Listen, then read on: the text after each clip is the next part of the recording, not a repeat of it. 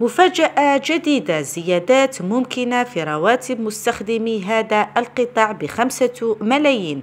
السلام عليكم. مرحبا بكم في قناتنا. قبل بدء الفيديو لا تنسوا الاشتراك في القناة والضغط على زر الجرس وهذا ليصلكم كل جديد.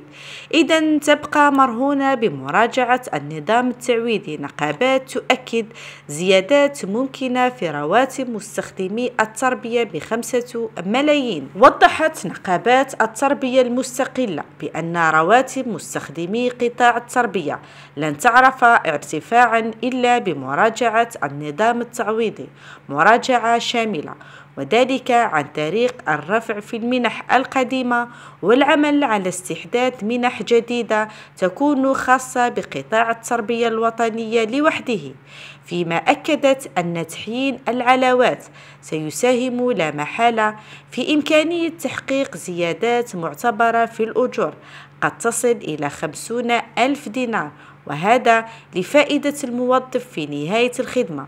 شريط مراجعة القدرات المالية للخزينة العمومية. وعقب استفادتهم من زيادات في الرواتب والتي أدرجت عبر قانون المالية لسنة 2023 ينتظر مستخدمو قطاع التربية الوطنية والذين فاق عددهم أكثر من 800 ألف مستخدم زيادات أخرى في الأجور والتي من المتوقع أن تكون معتبرة في حال أقدمت السلطات العمومية على مراجعة النظام التعويضي مراجعة شاملة ودقيقة وهذا من خلال الرفع في المنح القديمة وتحيينها بشكل يساهم في تحسين القدرة الشرائية. إلى جانب السعي لإيجاد علاوات جديدة تكون خاصة بقطاع التربية الوطنية لوحده وليس بالوظيف العمومي. وللحديث أكثر عن مراجعة النظام التعويضي الورقة الرابحة لتحسين الأجور. في موضوع جدد بوجمعة شهوب رئيس المنظمة الجزائرية لأساتذة التربية في تصريح للشروق مطالبة السلطات العمومية بفتح النقاش حول ملف النظام التعويضي مثل ما وعد به عبد الحكيم بن العابد وزير التربية الوطنية قبل سنة على اعتبار أنه بمثابة الورقة الوحيدة التي من شأنها المساهمة في تحسين الرواتب كما أشار من جهة أخرى المسؤول الأول عن نقابة مجال إلى أن الحصول على زيادات معتبرة في أجور المستخدمين عموما والأساتذة بشكل خاص. لن يأتي إلا عن طريق التزام السلطة الوصية باستحداث منح جديدة وهذا مع ضرورة إخضاع المنح القديمة للتثمين على غرار المنحة البيداغوجية ومنحة التوثيق التربوي. وذلك بغية استدراك ما يمكن استدراكه من الانهيار المخيف للقدرة الشرائية والتصدي لارتفاع الجنوني للمواد الأساسية في السوق والذي دام أكثر من سنة.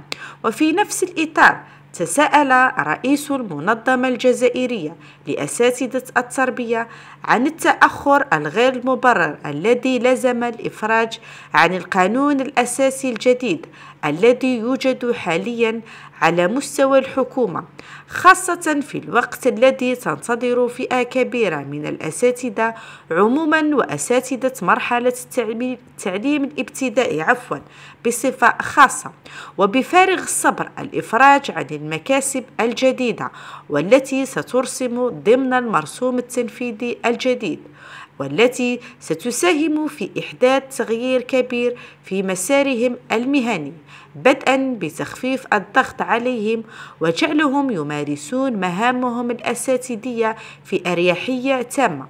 وهذا بعد دخول قرار إعفائهم من ممارسة المهام الغير بيداغوجية حيز التنفيذ. كما أيضا أن تحرير القانون الأساسي سيتيح استفادة هؤلاء من إعادة التصنيف وفق معايير عادلة فضلا على ضبط مهام مشرف تربية بالتعليم الإبتدائي أو ما يصطلح عليه المختص التربوي وهي رتبة مستحدثة لتفادي اصطدام بوضعيات المتعلقة بالمدارس على اعتبار أن هذه الفئة قد استفادت من الإدماج منذ أكثر من ستة أشهر وباشرت مهامها بشكل عادي غير أنها تصر على رفض القيام بالمهام الغير البيداغوجية بحجة عدم وجود سند قانوني أو وثيقة رسمية تحدد مهامها بدقة وهو الأمر الذي يؤدي إلى استمرار معاناة الأساتذة الذين وجدوا أنفسهم مطالبين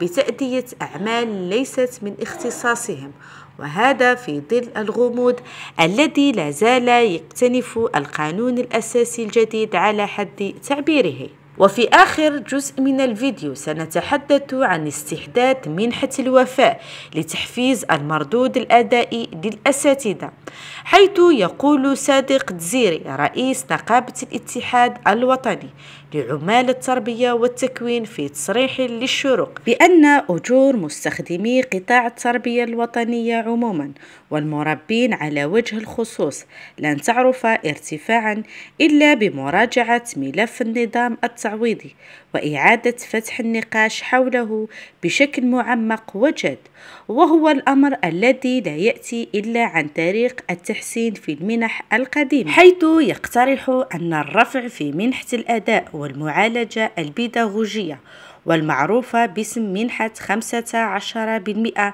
إلى 60% على الأقل خاصة وأنها لم تتغير منذ 11 سنة كاملة.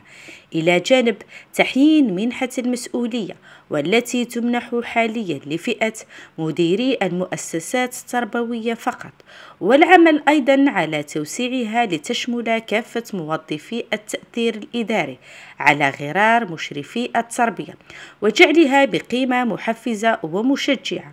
ويرافع المسؤول الأول عن نقابة لومباث لأجل استحداث منح جديدة على غرار منحة الوفاء للتدريس إذ اقترح أهمية إعطائها لكافة الأساتذة بدون استثناء وذلك أثناء ممارستهم للمهنة والتي يجب أن تكون محفزة ومشجعة وألا تقل عن 50% من الأجر الرئيسي.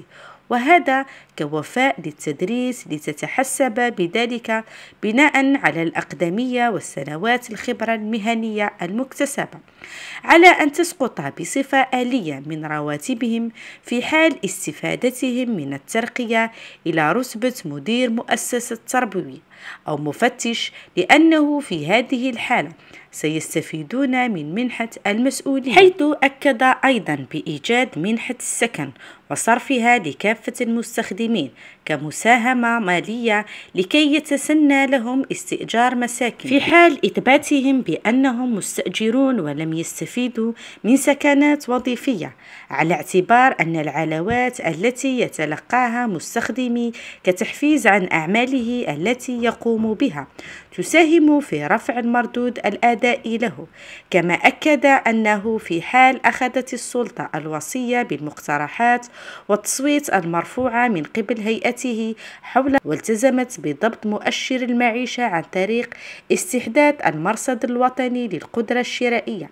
فإنه من المتوقع جدا أن تكون هناك زيادات معتبرة في الرواتب حيث يحصل الموظف المبتدئ في الدرجة الصفر على زيادات قد تصل إلى 15 ألف دينار في حين سيستفيد الموظف المتوسط المصنف في الدرجة السادسة من زيادة تتراوح بين 25 ألف و 35 ألف دينار على أن يكتسب المستخدم في الدرجة 12 في نهاية الخدمة زيادة في راتب أدناه 40 ألف دينار وأعلى 50 ألف دينار. إذا أعجبكم الفيديو لا تبخلوا علينا بالضغط على زر الإعجاب.